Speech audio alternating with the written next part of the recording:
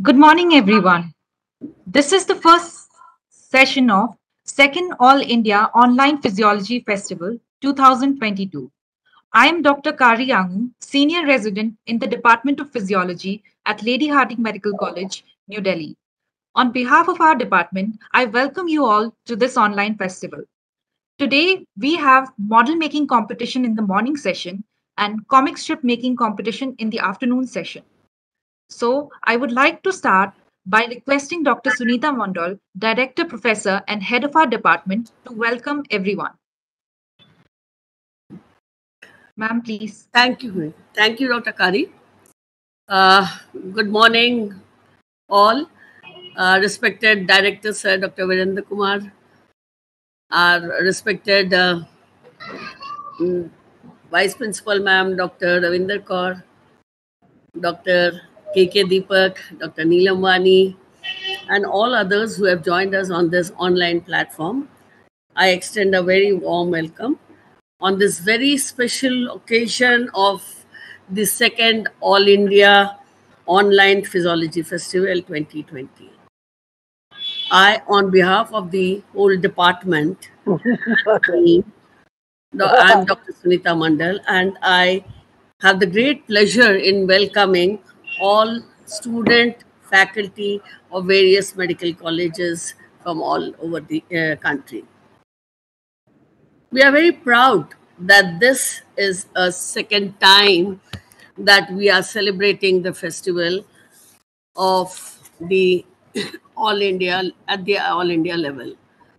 The idea of Physiology Festival was pitched in by one of our faculty members, none other than Dr. Madhulika Monga, professor in the department last year. And the main objective of this festival was to make the concepts of physiology a fun to learn and to also bring about various innovative and creative methods into the learning of physiology. Last year, we had our first physiology festival in an online mode in the all India level. We were overwhelmed by the responses from the different medical colleges and thus encouraged by our uh, by the response obtained last year this year too we are heading into an exuberant journey for the next two days we will be having two sessions in each day with different categories starting at 11 a.m. and 2 p.m. respectively. And now I welcome you all to be part of this fun filled educational journey. I welcome our patron director, Sir Dr. Virendra Kumar. I welcome ma'am, Dr. Deepak, Dr. Uh, who's head of the Department of All India Institute of Medical Sciences, New Delhi.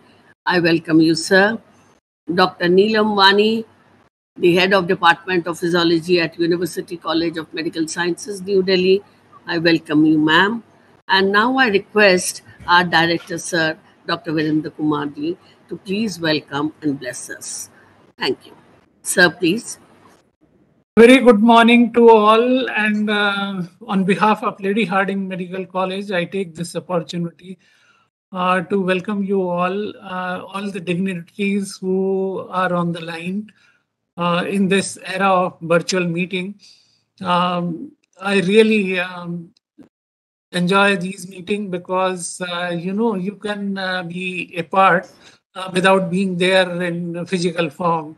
So that's really nice. And I take this opportunity, Dr. Vani, Dr. Deepak, all dear faculty members from our institute and the other uh, dignitaries uh, who have joined from other institute dear students and faculty members from other institutes. So it's really uh, honor for me to be on this platform among you. Uh, I'm a pediatrician by profession, and I understand the importance of physics and physiology, which is the theme uh, for this year. Uh, unfortunately, last year it could not be uh, managed because of the COVID going on but uh, we hope that we will continue this chain of uh, having uh, the uh, these uh, meetings maybe in the virtual form or the physical form as the time suggests to us. And the theme which has been chosen for this year is really a great value for the student. It provides a platform for understanding the physics and the value of uh, physiology in medical field. And uh, we always teach our student that without knowing the physiological concept, you cannot understand the disease uh, pathophysiology. And if you are not clear of disease pathophysiology, you just cannot manage. And there are going to be many errors. And uh, so many times you get confused. Um, many times I've seen in emergency, I spent my uh, 28 years in emergency and ICU. And many a time child comes with pain abdomen and uh, dehydration and uh, the students in the beginning, they think uh, this is a GI problem. But if they do not understand the physiology that the dehydration can also occur because of diabetic ketoacidosis and they tend to get confused and uh, so uh, here comes the role of teachers to guide them to take uh, their hand into their hand and uh, take them through the all process of management. So on making uh, the basic understanding clear to the student is the first step in management wherever we are. So it's a great initiative, and I congratulate Department of Physiology for taking this lead and uh, be the uh, proud organizer. Uh, and I'm also one of uh, them.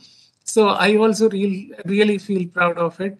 And uh, my best wishes to all of you. And I hope uh, at the end of the day, there will be a great learning. And I can see so many senior teachers are sitting here uh, they can make you understand without giving any tension in, in your uh, thinking process. So wish you all the very best and good luck and happy learning. Thank you very much.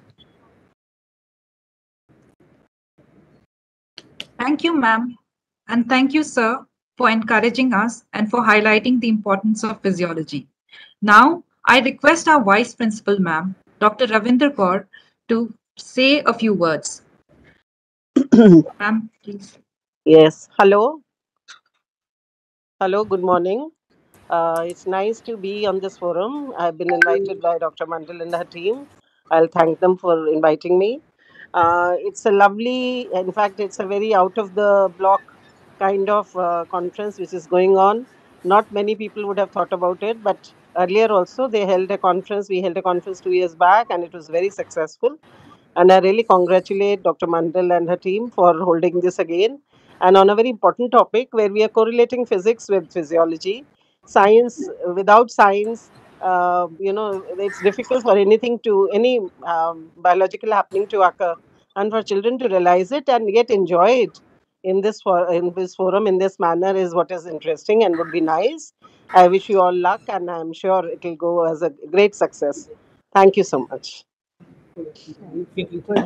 Thank you, ma'am, for your kind words. Now, I would like to call upon the organizing secretaries to share more details about today's event.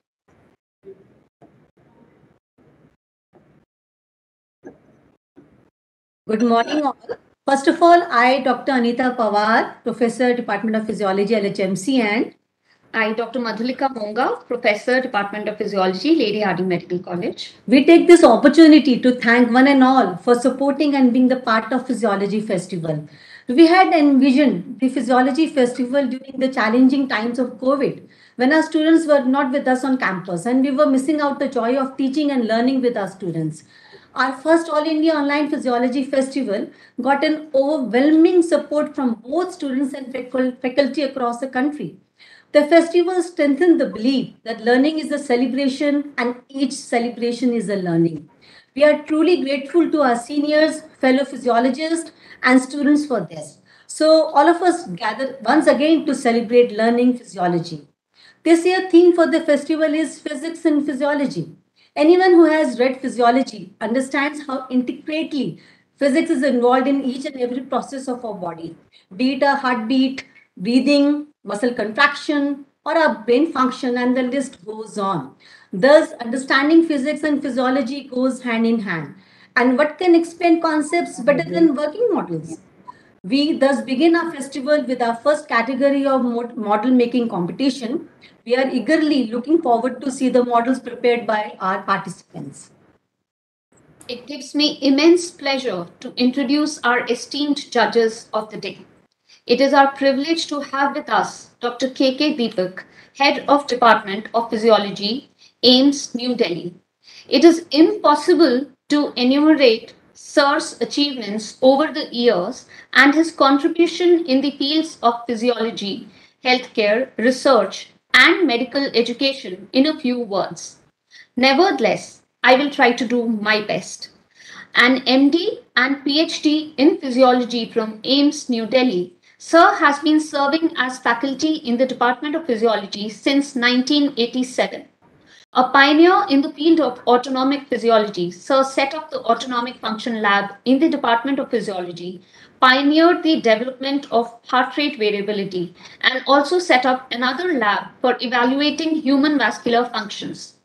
Along with his team, Sir was instrumental in the development of indigenous software for quantification of autonomic tone by HRV and vascular tone by blood pressure variability and a cloud-based program for centralized HRV system for and he spread it throughout the country. More than 120 theses have been carried out in autonomic physiology under Sir's able guidance. Sir very firmly believes in collaboration and working as a team and has set examples through his own efforts and successful collaboration with renowned international and Indian institutes like UCSD San Diego, IIT Delhi, IIT Roorkee, NIT Jalandhar, Bhabha Atomic Research Center Mumbai, IITM Gwalior, IIT Madras, to name a few.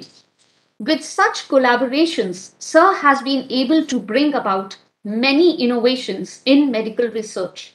To mention a few, he devised blood pressure simulation model, techniques of EMG biofeedback for patients of hand dystonia, electrogastrography for irritable bowel syndrome. The blood pressure simulation model also won him recognition and Devraj Bajaj Award, which was later used in NASA experiments. He is a co-inventor in other innovations like cuffless BP device, isometric exercise human muscular fatigue recording system, and devices for space physiology. He has worked on brain stimulation by using vagal stimulation and yogic breathing. Sir has also innovated a special body gear to facilitate yoga during space travel, for which a patent was filed in 2018 and has won him recognition and award of DSc degree from Vyasa University, Bangalore. Sir has been recognized by Government of India for his exemplary contribution in the field of yoga and meditation. An active member of Satyam DST, Government of India since 2015, Sir also chaired the committee which developed various physical activity protocols and guidelines under Fit India program of Government of India 2020. He has significantly contributed in the field of medical education and published several studies. Sir has delivered several invited talks in various countries, including UIC Peoria, Harvard Medical School, and UCSD San Diego. Sir has also significantly contributed in faculty development programs in SAARC nations, accredited with many publications with nearly 4,000 citations with an H index of 33. Sir is truly a luminary in the field of physiology. I welcome you, sir, Thank and you. it is our pleasure to have you with us today. Thank you so much. so much for joining us. Next, I take the privilege of welcoming Dr. Neelam Vani, uh, Neelam Vani ma'am. Dr. Neelam Vani is a director professor and head of Department of Physiology, UCMS and GTB Hospital, New Delhi. Ma'am completed her MBBS from RNT Medical College, Udaipur, and MD Physiology from SMS Medical College, Jaipur. Dr. Vani is also a Dean of Ayurveda, Unani Sciences, and Homeopathy Sciences in Delhi University. She has been appointed as observer for University of Mauritius. Ma'am is editor of Indian Journal of Physiology and Pharmacology, and she is on advisory board of Indian Journal of Medical Specialities. She has done many assignments for several prestigious educational bodies like MCI, National Board of uh, Education, ICMR, AIIMS, Aligarh Muslim University, PGIMS, RUHS, etc., to name just a few of them. Dr. Vani's field of specialization is neurophysiology. She has many publications to her credit in national and international journals. Ma'am has co authored books titled Physiology for Laboratory Technicians in Hindi and Impact of Mobile Phone on Health. She is contributor of chapter Electrodiagnosis in Turek's Book of Orthopedics, Jaipur. Ma'am has always been very encouraging and supportive of all our endeavors.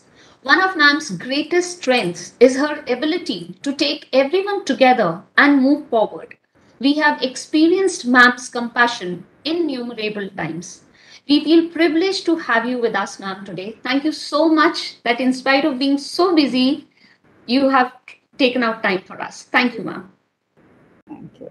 Okay, so uh, now let me share a few details about today's competition. The participants have submitted their respective entries in the form of a video, which would be played one after other. The time limit for each video is 5 to 6 minutes. We have three prizes for the model making category, first, second, third which would be decided by our judges of the day. The judges and the organizers reserve the right to disqualify the team if plagiarism is found or if use of unparliamentary language is observed at any stage of the competition. The decision of the judges would be final and binding. We also have an Audience Choice Award. The link for the same has been shared in the description box of our YouTube live streaming link. The voting would start as soon as the first video would have been played and it would be closed within 30 minutes of the end of the screening of the last entry. The announcement of the winners of all the categories would be announced together on the last session of the festival that is on 22nd September afternoon session. I welcome all of you once more and with the permission of our judges, without any further delay, I request Dr. Himanshi, Senior Resident and Coordinator for the Model Making category to start with the competition. Over to you, Dr. Himanshi. Uh, can we request everyone to go mute so that our videos are played without any noise? Thank you. I, Dr. Himanshi, Senior Resident in the Department of Physiology, Lady Hardinge Medical College, New Delhi, welcome you all to the very first event of second All India Physiology Festival, which is model making. So we have participants from all over India from various medical and dental colleges so the first team we have is from Armed Forces Medical College Pune, which is named as Physiology AFMC.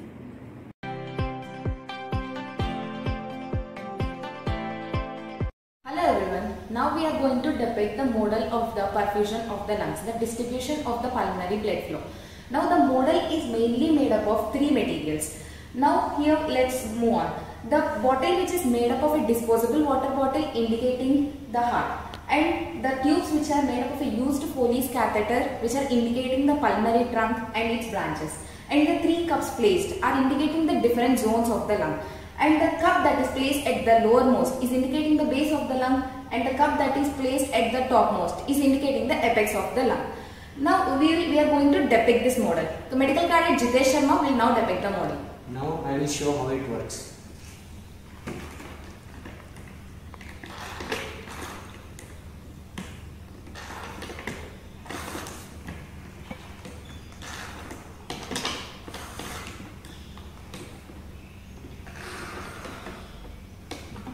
Now by roughly seeing the working condition of this model, we are able to understand that whenever the heart is pumping the blood, there is more flow of blood into the base region of the lung comparatively to the other regions. Now we are demonstrating this in an upright individual. Now let's move on to the factors that are causing this differential blood flow. The main effect is by the gravity. The effect of the gravity is attributed to the hydrostatic pressure difference between the top and bottom of the lungs. Now when there is an increase in the height of the area of the lung from the heart, there will be decrease in the hydrostatic arterial pressure. Now, whenever there is an increase in 1 centimeter of height, there will be decrease in 0.74 mm of Hg. And always a pressure difference of 23 mm of Hg is constantly maintained between the top and base of the lungs. Uh, now, for the perfusion to occur, the arterial pressure should be greater than that of the alveolar pressure. According to the principle, at the apex, the alveolar pressure is greater than the arterial pressure. At the middle, the arterial pressure is greater than alveolar pressure. But coming to the base, the arterial pressure is comparatively and relatively more greater than the alveolar pressure. According to the principle, and uh, that perfusion will occur only if the arterial pressure is greater, then according to that, the base will be having the more perfusion. When a person is standing at rest, the blood flow to the top of the lung will be less and when we compare same at the base, it will be 5 times greater. Thank you.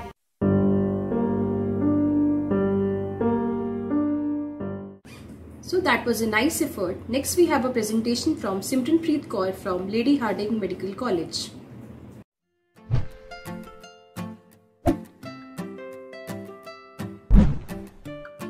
You never know how much you value your breath until you can't breathe. Hello everyone, my name is Simranpreet Kaur from Lady Hardinge Medical College. Now let's briefly talk about our respiratory tract. It is divided into three interconnected regions starting from upper airway, conducting airway and the alveolar airway. The upper airway starts from our nose or nasal cavity leading up to pharynx then to larynx. The conducting airway starts from our trachea leading to terminal bronchioles. And then the alveolar airway starts from respiratory bronchioles to alveolar sacs. The particulate size of 30 to 50 micrometer does not enter our upper airway. Now the particulate size of 5 to 10 micrometers impacts on our nasopharyngeal wall and the particulate size of 2 to 5 micrometers enters our bronchioles leading to bronchoreflex, bronchoconstriction and coughing. And now I present to you lung failure. Now this machine blocks the particle size of less than 0.5 micrometers. It works on a very simple principle. That is, the air is sucked in from this inlet and after being purified, it is put out from this outlet. Now, how is the air being purified? Now this filter as you can see contains very very tiny pores in which the particle size of less than 0.5 micrometer is entrapped. After switching on the fan, a negative pressure is created in this chamber and the air is sucked in and the particles gets entrapped in the filter and after getting purified, the air is thrown out of this chamber. So now let's talk about the raw materials used. Besides the bike filter, everything here is reused. This fan is an old CPU fan, this is a plastic box and the base as you can see is made up of newspapers so that the filter remains in close contact with the fan. So this machine is a boon for every Indian family as India is one of the most polluted countries ranking 3 worldwide. So this machine can prevent us from various respiratory disorders. Now let's see how it goes. As we cannot show it with microparticles, we will show it with bits of paper. Now it is, this is connected to adapter. Now I'll switch it on. Now as you can see the papers are getting entrapped.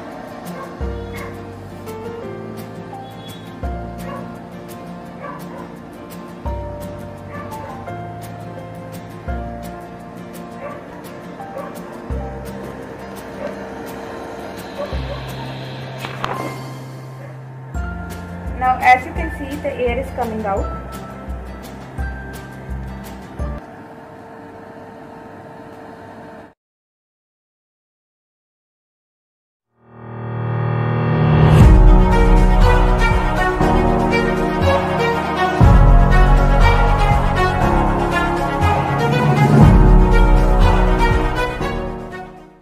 Thanks Simranpreet for a nice presentation. Next we have a presentation from AIIMS Rajkot, their team named Brainiacs.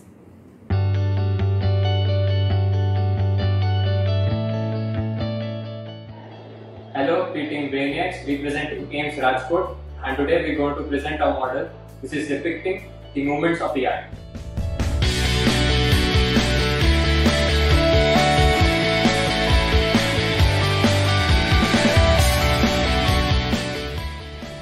So the topic was physics and physiology, and adhering to it, we've chosen to depict the agonistic and antagonistic effects of the muscles facilitating the movement of the eye.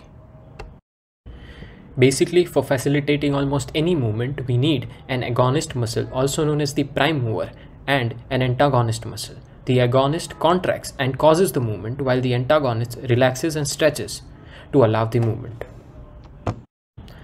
Let's understand this with the help of the model. So the human eye has muscles known as medial rectus and lateral rectus which are responsible for causing side-to-side -side movement of the eyeball. For causing medial movement, the muscle medial rectus has to contract. It acts as the prime mover and the muscle lateral rectus attached oppositely acts as antagonist and allows the movement by relaxing itself. Similarly, for lateral movement, the lateral rectus acts as the prime mover while the medial rectus acts as the antagonist. For superior movement, the superior rectus acts as the prime mover while the inferior rectus acts as the antagonist. And for the inferior movement, the inferior rectus acts as the prime mover and the superior rectus acts as the antagonist. Such movements use concepts of physics, such as torque, where the force applied by the muscle acts from a distance from the axis. The greater the distance, the greater is the torque.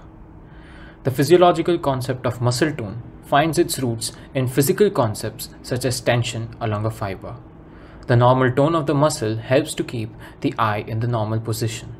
This tone is due to the tension of the muscle fibers. We've depicted this tension in our model using threads that are taut when eye is in the normal position. Working of the model. We've used the concept of hydraulics to facilitate the movements of the muscles. Two syringes are connected via a tube and water is used as the hydraulic fluid. One syringe acts as the muscle analog and the other acts as a controller. When the plunger of the controller is pressed, the plunger of the muscle analog is pushed forwards. This plunger has been connected to thread which ultimately attaches at the insertion of a rectus muscle.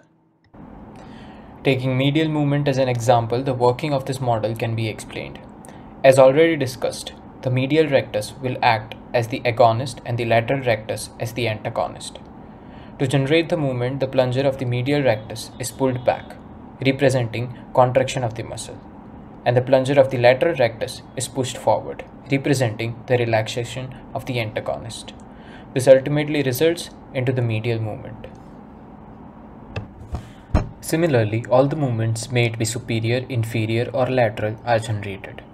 It is worthwhile to notice how the thread of the antagonist loosens, depicting relaxation, and the agonist tightens, representing contraction. The making of this model has been both a challenge and a delightful experience. Thank you for watching. So that was an informative presentation. Next we have a presentation by Anirudh Dahuja from University Institute of Medical Sciences, Prayagraj.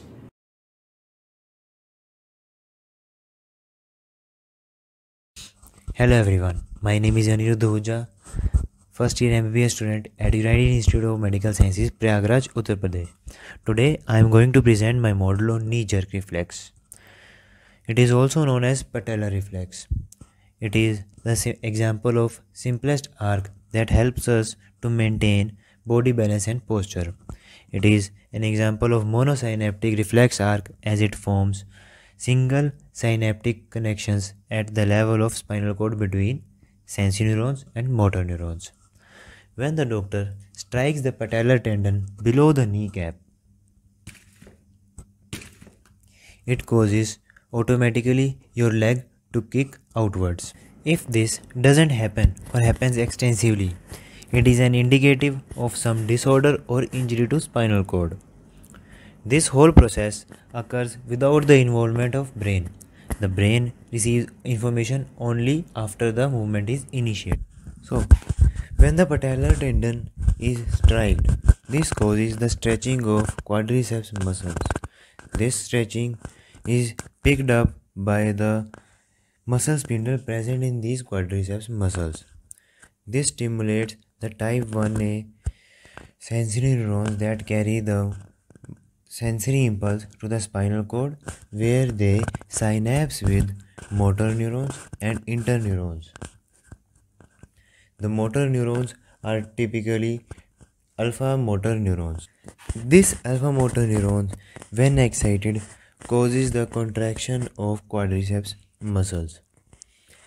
The connections made at the spinal cord level between the interneurons and the inhibitory fibers causes the antagonist muscles to relax. The sensory motor neurons synapse with the interneurons that inhibit the activity of the motor nerves that supply the opposing muscles. In this case, we have hamstrings. So, the contraction of hamstrings muscles is opposed by the inhibitory action of the interneurons. So, the stimulation of these inhibitory interneurons causes the quadriceps muscles to be unopposed.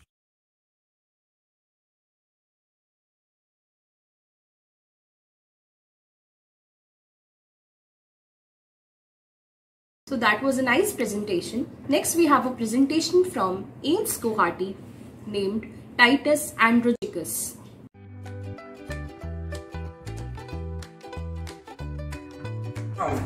We are surrounded by various kinds of sound, some irritable, some pleasant, some that catch our attraction and some are so meaningless that we ignore them completely.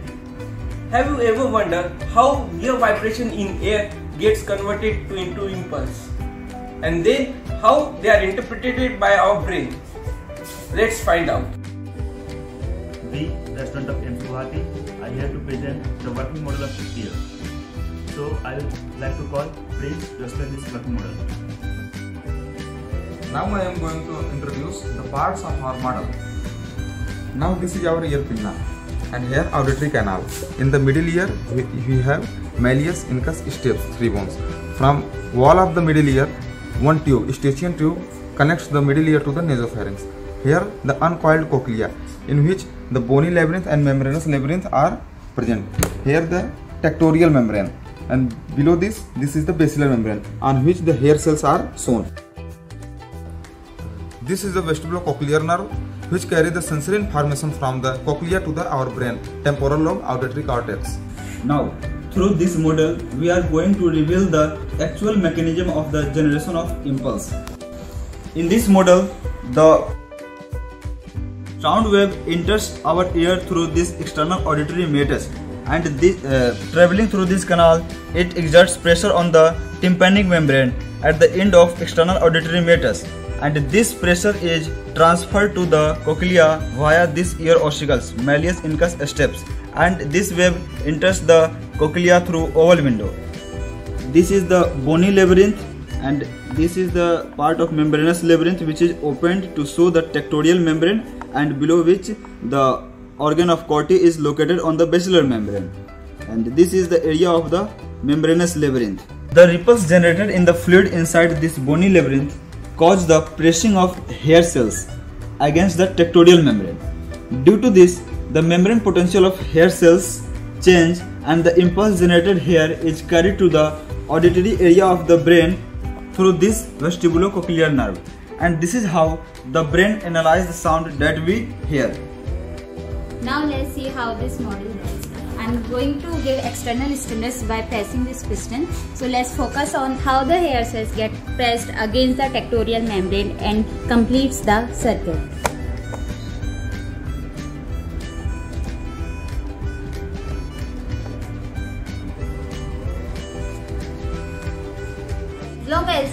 As the persists, the brain perceives the sound.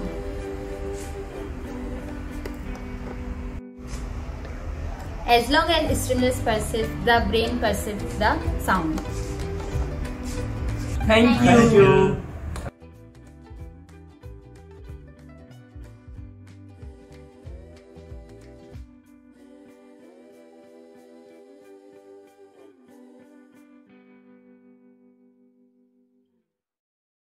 So next we have a presentation by Manav Rachna Dental College, their team named Emerald.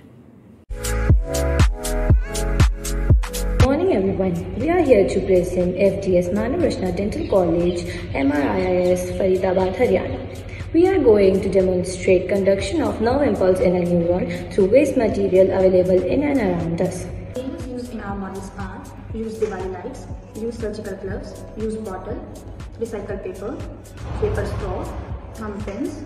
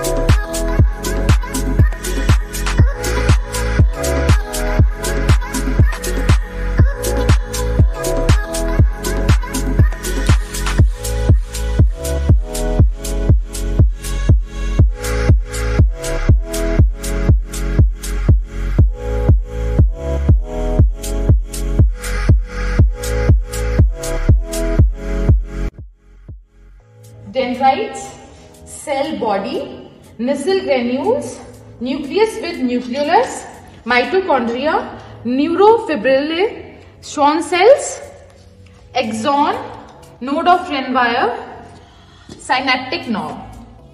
None of our perceptions, thoughts or memories would be possible without nerve conduction. The process by which nerve impulses are propagated along neurons is through saltatory conduction. Nerve conduction is an electrochemical process which means that it uses electricity made with chemical molecules. Conduction of nerve impulse occurs due to presence of active and electrotonic potential along the conductors. Neurons conduct electrical impulse by using action potential phenomena that is generated through flow of positively charged ion across the neuronal membrane.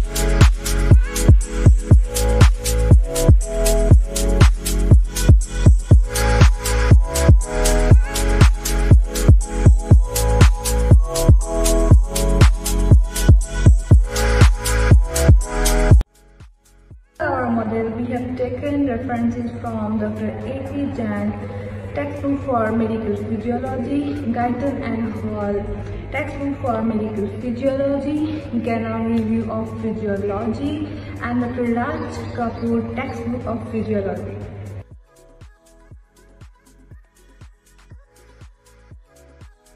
Our team name is Emeralds and our members are Aisha Zuri, team leader, Anjali Khatana, Kirti Joshi, Punya Vita Badumba, Francine Zena, and I, Priya Sakshi.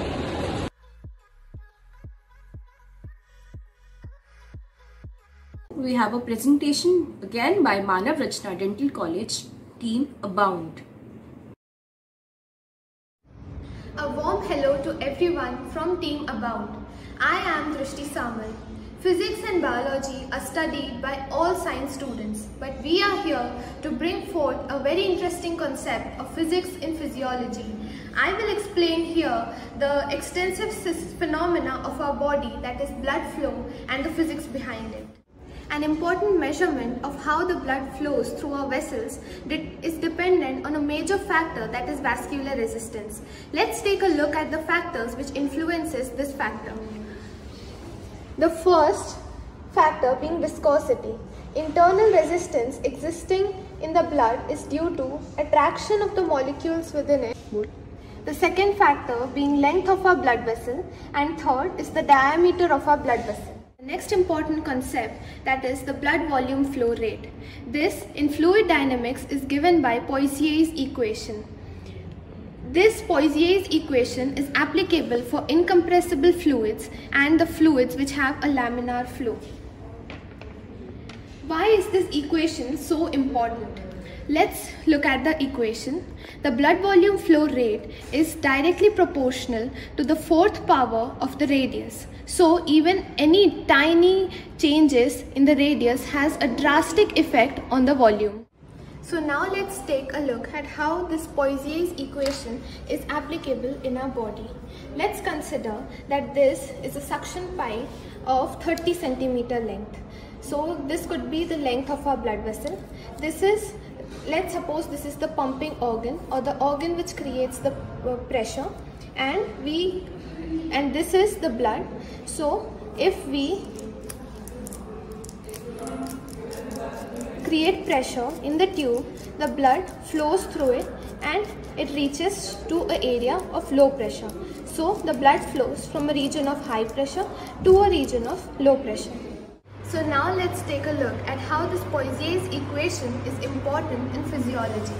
The extensive network of blood vessels which is supplying our body exerts pressure on this muscular wall which is known as blood pressure.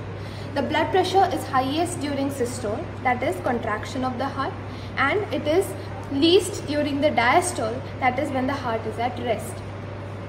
Heart works to create a pressure so that the blood through the aorta flows into the body and then returns back through the vena cava into the heart. The blood contracts that is systole and the blood flows due to the pressure created. So this is how two dynamic concepts, physics and physiology, could be brought together. Thus, I would like to conclude. Thank you. It was a good presentation. Next, we have a presentation by Team Hydraulics from AIIMS Rajkot.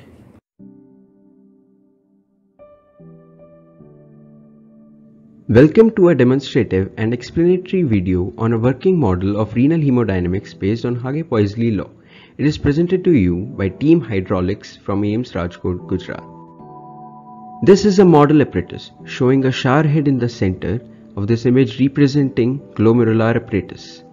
The tube to the right represents afferent arteriole and the tube on the left represents the efferent arteriole. The beaker below the glomerular apparatus fills with glomerular filtrate and the one draining out efferent arteriole fills with efferent arteriolar outflow. Using this apparatus, we'll demonstrate three scenarios starting with normal unconstricted arteriolar outflow with the shown setting. After that, for demonstrating flow with afferent arteriole constricted, the vessel depicting the same would be clamped with a black paper clip. The clamped vessel simulates a vessel the smaller diameter. For the next scenario, similar setting would be used for efferent arteriole. Now we'll watch some demonstrative clips for each of these scenarios. Normal flow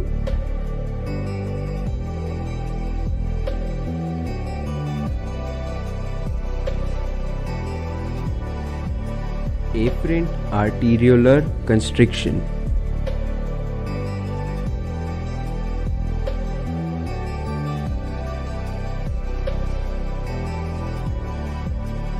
efferent arteriolar constriction.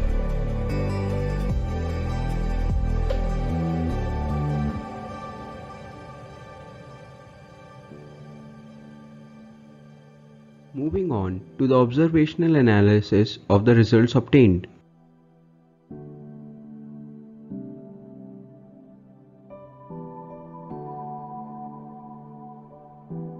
The change in results are due to afferent arteriolar constriction which reduces both the GFR and the efferent arteriolar flow.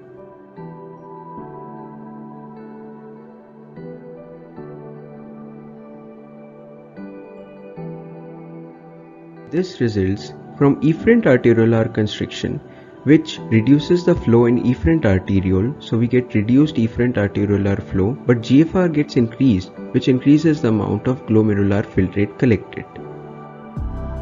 The concept demonstrated here is Hagen-Poiseuille law. Its simple reinterpretation shows us that vascular resistance is inversely proportional to fourth power of diameter of that vessel. This explains why constriction in a vessel reduces the flow ahead of it and increases the flow preceding it. In the end, I'd like to acknowledge the team effort and thank you for watching. Thank you AIIMS Rajkot. Next we have a presentation by Sarojini Naidu Medical College, Agra by Vaidehi Gupta.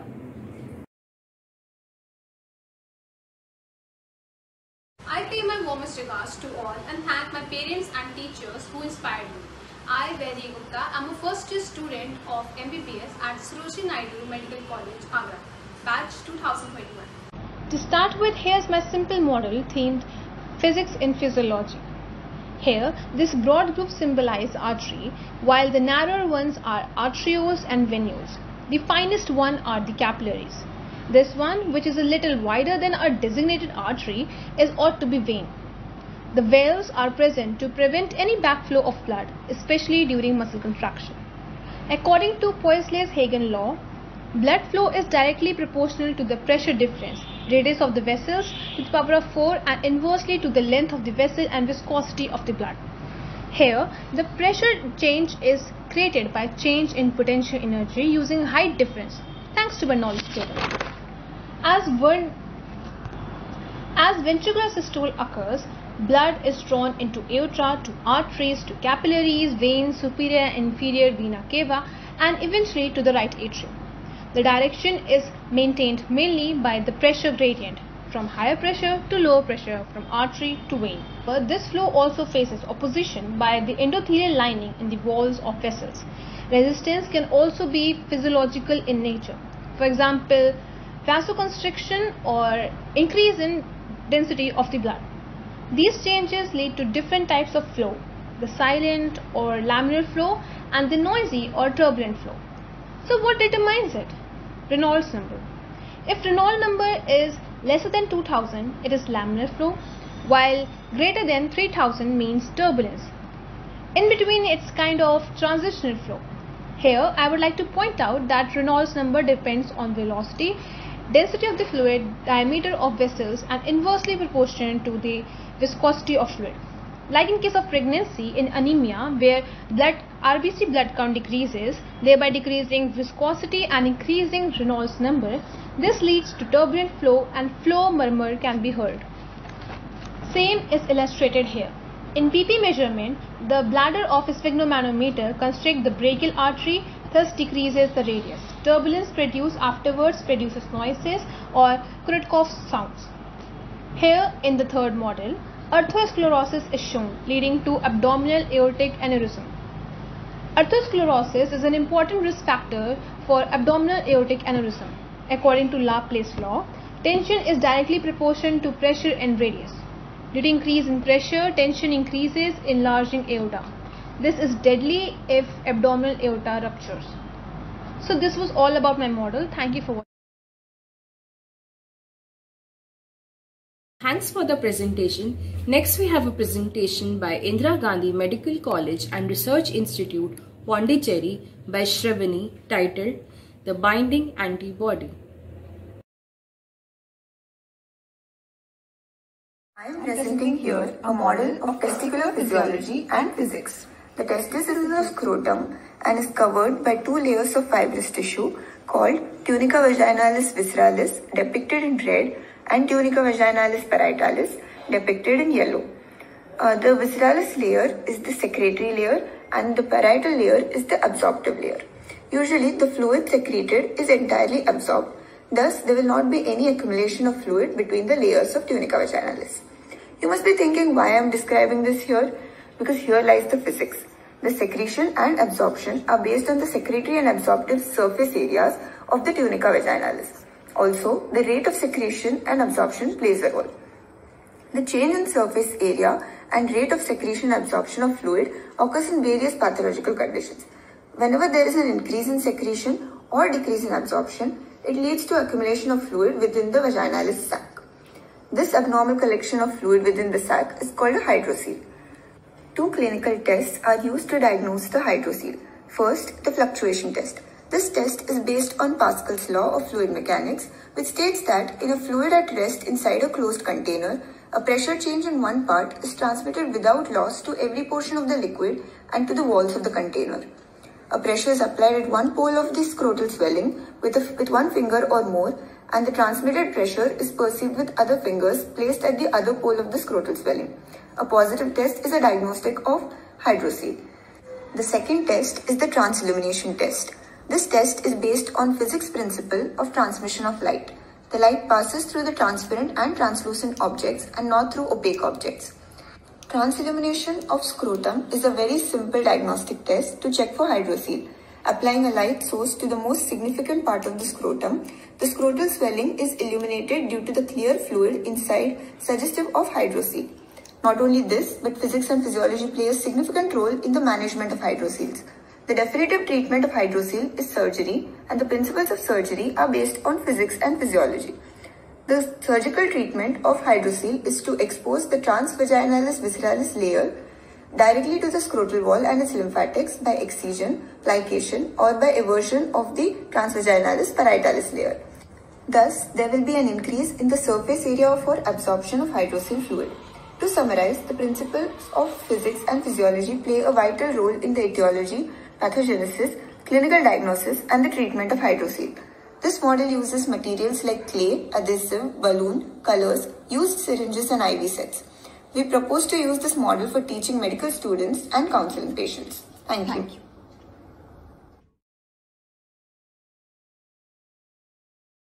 So we are almost approaching the end of our model making session. Next we have a presentation by AIIMS Guwahati by team Solo Tesla.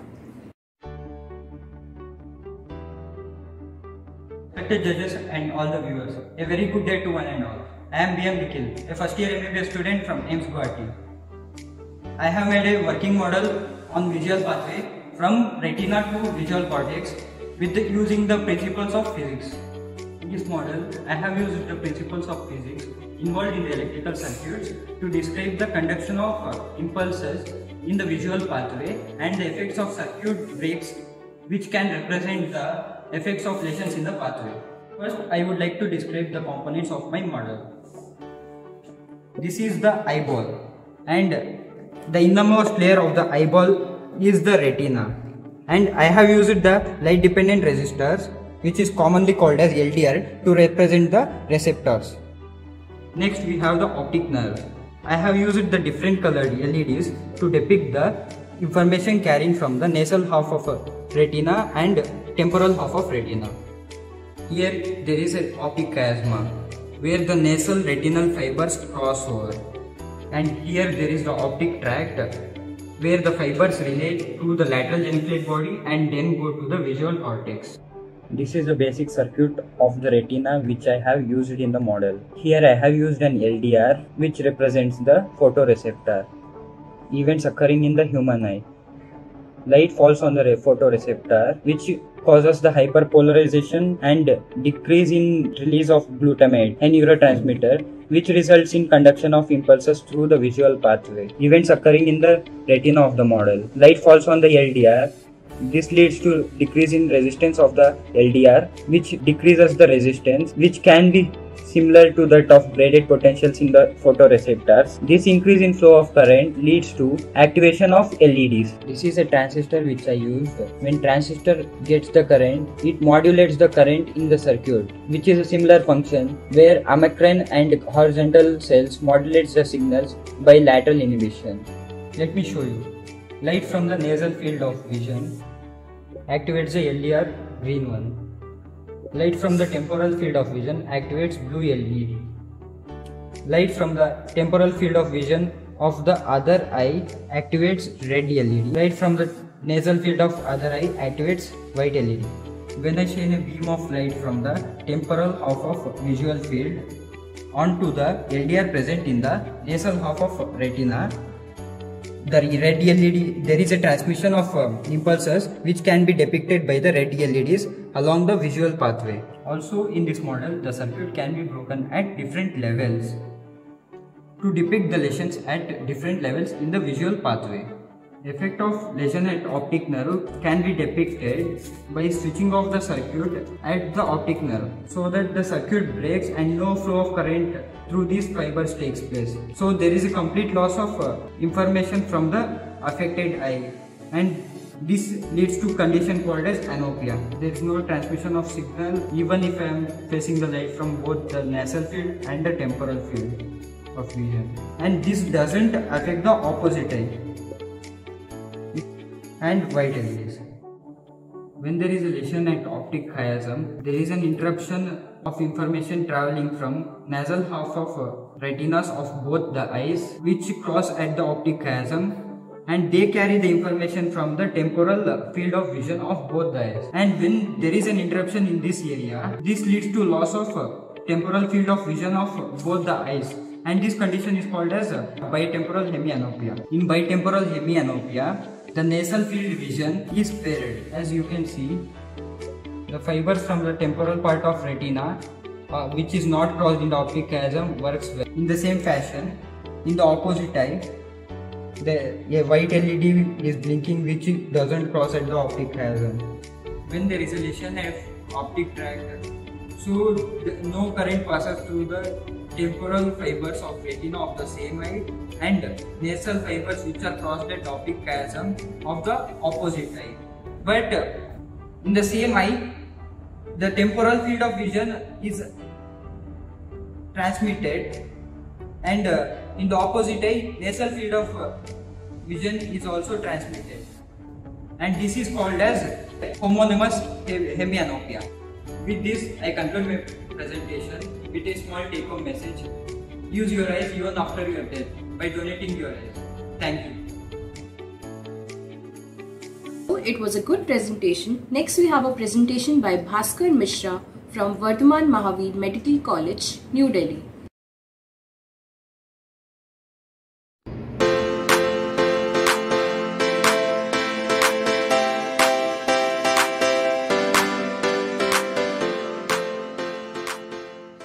Bhaskar Mishra and I am from team Anusandhan representing Vardhaman Mahavir Medical College and Safdarjung Hospital. So today here I am with my model, my mechanical model depicting the electrical cardiac conduction pathway. Right. So what I observed first of all was the ratio of cardiac conduction velocities in the different parts, internodal pathway, bundle of His and Purkinje fibers. And that appeared to be 2 is to 3 is to 5. Now my objective was to embed this ratio in my mechanical model or somehow depict this ratio in my mechanical model. What I did for that purpose is, I took three types of circular cutouts, one with a quite small radius, one with a medium radius and one with a large radius. Right.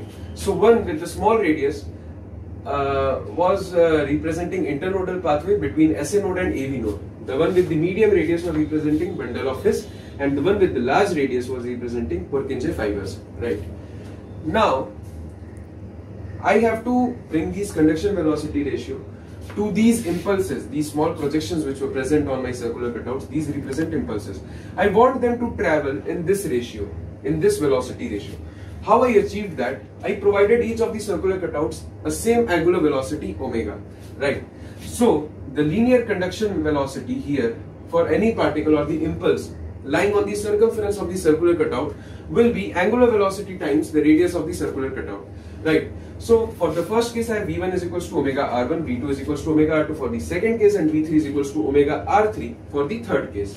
Now when I take the ratio of the conduction velocities, they come as omega R1 is to omega R2 is to omega R3 and finally the result which I get is V1 is to V2 is to V3 is equals to R1 is to R2 is to R3 which means to embed this conduction velocity ratio in my mechanical model basically I need to make the circular cutouts with a radius ratio of 2 is to 3 is to 5 and that is what I did. My smallest radius was 4 centimeter, the medium radius was 6 centimeter, the largest radius was 10 centimeter and now when I rotate these systems with same angular velocity, the impulses travel with the same conduction velocity ratio and this is how I achieved my objective. Now I would like to put forward a question regarding the electrical conduction pathway of heart. Right. Now the impulse represents the current, right? If I assume these bundles to be the current carrying wires, then what you would see is when you proceed from AV node towards the Purkinje fibers, the wires are basically open-ended at the Purkinje fibers. So the question arises that how is current flowing in an open circuit, right? So I would like to present the answer. The answer is basically this is a misconception. The bundles do not represent the current carrying wire. If you draw the electrical equivalent circuit of uh, the electrical conduction pathway or of any conducting cell, right? So the circuit is something like this. This is the spike generator which is responsible for action potential generation and it is represented by sodium and potassium voltage gated channels. We have a capacitor in the circuit. How a capacitor uh, is coming in the circuit, basically what happens, the current loop is not being formed across the bundle. The current loop is being formed across the plasma membrane between intracellular fluid and extracellular fluid right? So the circuit is not actually being formed throughout the bundle, the circuit is being formed across the plasma membrane. That's why this is a misconception, that's why it is a misconception to assume this bundle as a current carrying wire, right? So how is this uh, capacitor coming in the scene? Basically, we have ICF as a conducting fluid, it has ions in it, so it is a conductor. ECF is uh, similarly having some ions and it is a conductor, right? And two conductors connected by an insulator layer, which is the plasma membrane, right? This represents a capacitor. This is the basic construction of capacitor. So this is how capacitor comes in the circuit. This represents the leaky channels and this is the injecting current, right? The injecting current is basically impulse, which you are injecting in the circuit. So here I would like to end my presentation. Thanks for lending me your ears. Thank you guys. Last presentation for the day is by Heart Shaker from Sri Balaji College of Dental Sciences.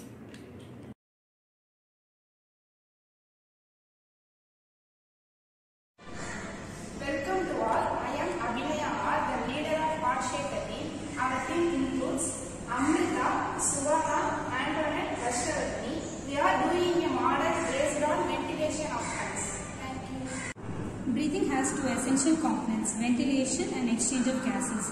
During ventilation, air moves physically inside and out of the lungs. During uh, a gaseous exchange, oxygen moves into the body and carbon dioxide is given out of the body. The diaphragm is the important muscle of uh, respiration.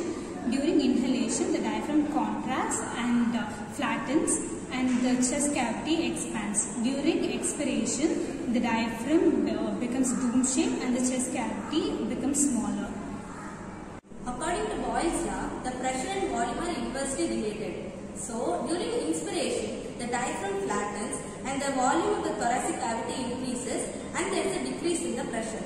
So, the air from the external environment enters into the lungs. During expiration, the diaphragm becomes dome shaped and there is a decrease in the volume of thoracic cavity and the pressure increases.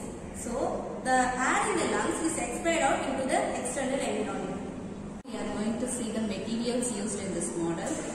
First, the plastic bottle which indicates the thoracic cavity and the straw which indicates trachea and bronchi. Two yellow balloons indicates the lung and the green balloon at the bottom indicates the diaphragm. Working of the model. When the diaphragm is uh, flattened, it is in inspiratory stage and the lungs are inflated. When the diaphragm is dome shaped, it is under expiration and the lungs are deflated.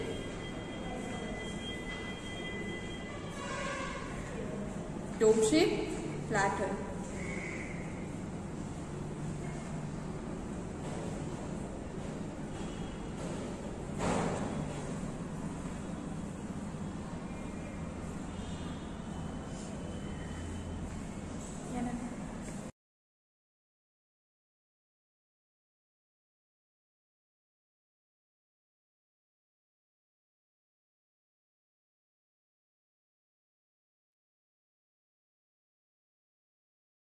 With this, we come to end of our model making session and I would like to thank all the participants and judges for making this model making session worthwhile and contributing to this physics and physiology to a meaningful extent. Now I hand it over to Dr. Kari.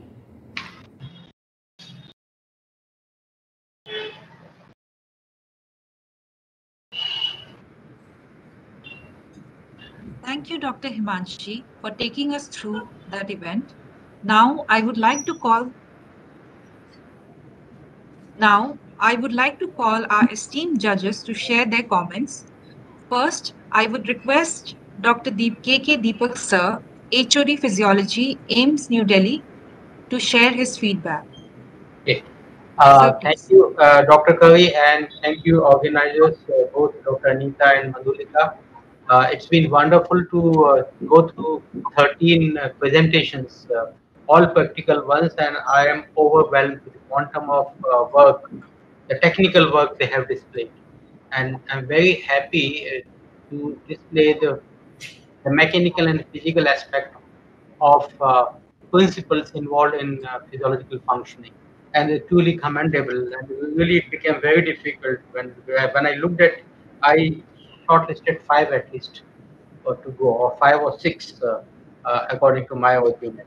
But uh, it is really very difficult because most of them are coming through. So I think they all deserve a word of applaud. I think we can we can clap for all of them. Are listening, we should do that. So I think uh, that's what uh, uh, they all deserve. They came from here. So I would encourage each one of them and at least what can be done uh, at the lower end, which I can suggest uh, uh, them, is that they should go ahead with their enthusiasm. At least they can make uh, these presentation as the OSPE in their practical classes right now and can start collecting and showing the display and then getting a feedback. Each one of them can make one OSPE station or two OSPE stations. I saw, I can imagine auspicious station can be knowledge, performance, or they can demonstrate something and then they can ask the questions. So it becomes a kind of a question and practical based OSCE which they can do. Second thing, they should explore themselves now. We're going to give a award and award that part will happen. But they can explore further potential what is existing in the world literature, old models, and see where the model stands. Some of them extend tall. And when they stand tall, they can exploit do two things. They see is it got a patenting potential or not. May not, maybe. Even if not, they can think of publishing this model. They try their luck, send to a journal which is uh, addressing both physics and physical issues, some of them really great. The, the theoretical construct is coming great. Some of them are actually shown a theoretical concept through mechanical display and other systems. So one thing they can do uh, is try to work out is it, a, is it a model which is can be marketed for teaching purpose for physiology or can be marketed for doing research like changing diameters of or changing intensities. So there are the two things which can go for like uh, I would see some of them, at least one or two of them, become entrepreneur in physiology. Take this model and try to see if they can nurture further, publish, patent, and become entrepreneur and start selling that. The, the volume required for each equipment here, at least thousand in this country. A big deal. Even if you sell 500 units, uh, it's a, so that's one thing. Second, if they are, they are young guys, I appreciate uh, their effort, they are students, but then they should find a mentor somewhere. They should see and how they can be hand holding done by some senior teachers locally or anywhere. And they are taken that, is it publishable? They should ask, is it publishable? And get the answer for themselves. So I would like to encourage uh, all of them. All of them are wonderful. Each one I see some way of hope and potential, a positive thing they have come all the way and they have uh, displayed their skills, more skills than knowledge, and that's very appreciable. They have held their flag of their uh, institute very high. So I also acknowledge uh, uh the parent department uh, where they've come from, and also the administration which they have permitted. So that's commendable. Truly, it's a it's a niche. it's a kind of environment conducive which is available to them. So they, we are thankful for the whole chain, whole team, uh, ecosystem where they come from. So with that comment, I uh, close and then uh, I request my co-judge, uh, Dr. Neelam Vani. Over to you. Thank you so much, sir, for your input yeah. and your encouragement. Now I request Dr. Neelam Vani ma'am, HOD Physiology, University College of Medical Science, to share her comments. Ma'am, please. Yeah, thank you. So first of all, I would like to congratulate Lady Hardinge for organizing this event. This is really commendable. And I also appreciate the uh, teams, all the teams who have taken part in this. And naturally, their institute and their teachers must have helped them also for participating in this competition.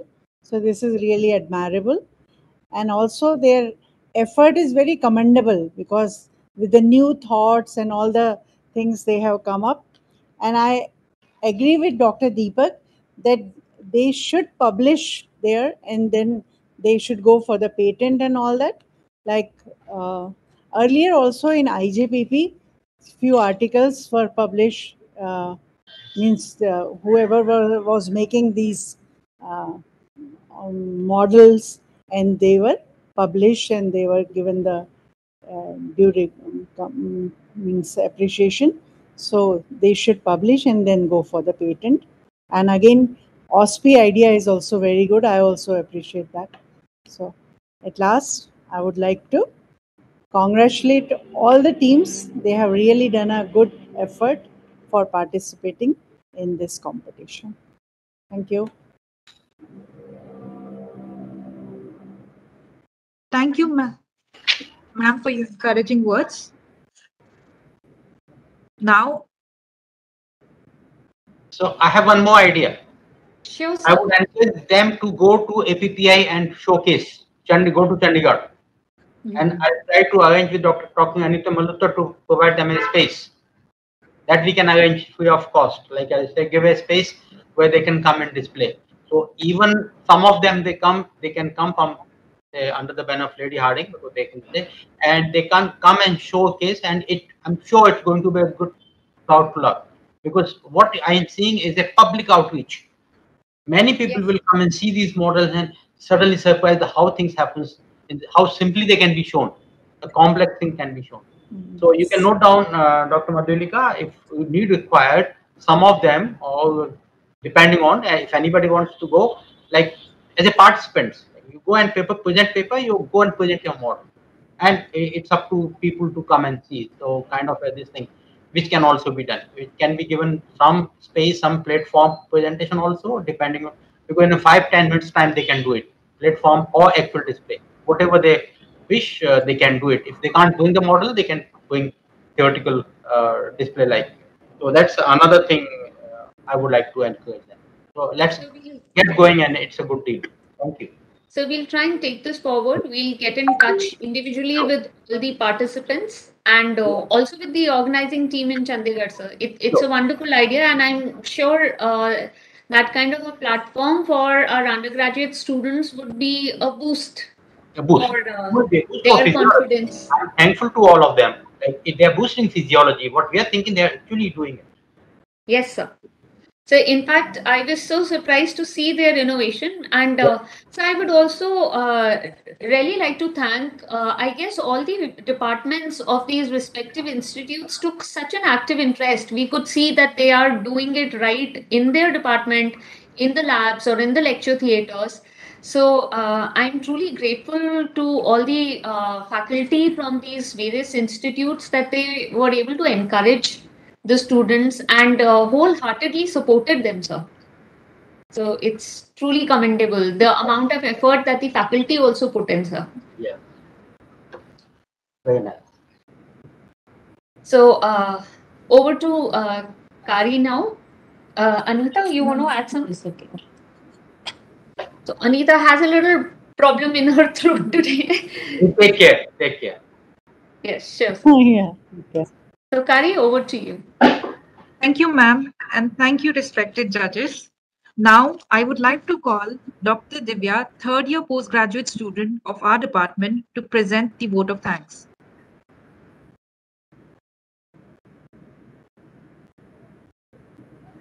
Ma'am, I feel very honored to propose the vote of thanks for this model making competition of second All India Online Physiology Festival 2022. On behalf of organizing committee, first I would like to thank our esteemed director of LHMC, Dr. Virendra Kumar, for giving us consistent support to conduct this festival. Next, I would like to thank our respective judges, Dr. KK Deepak and Dr. Neelamani ma'am, for sharing their experiences and giving their invaluable time in spite of their busy schedule. Now, I would like to thank our organizing chair, chairper- chairperson, Dr. Sunita Mondal, for uh, giving us this wonderful platform and also for encourage, encouraging us to conduct this festival and made this possible. I wish to show my sincere gratitude to all the faculty members from all over India for accepting our invite and encouraging students to participate in this festival. Last but not least, I would like to thank all the team members and audience for their active and enthusiastic participation. Thank you all. Over to you, ma'am. Thank you, Dr. Divya. So with this, we come to the end of the morning session of this festival. I would like to, I would like to thank all the judges for their time and all the participants. I hope to see everyone in the afternoon session at 2 p.m. for the comic making competition. Please join us on our YouTube channel to encourage and vote for your favorite team. Thank you, everyone. So just a reminder, we will be closing the link for the audience vote Google form in uh, next 30 minutes. So after that, we'll not be collecting any more responses. So thank you once again, and we say bye for the morning session. Thank you, sir. Thank, Thank you, you, ma'am. ma'am. Thank you, sir. Thank you, sir. Thank you, ma'am.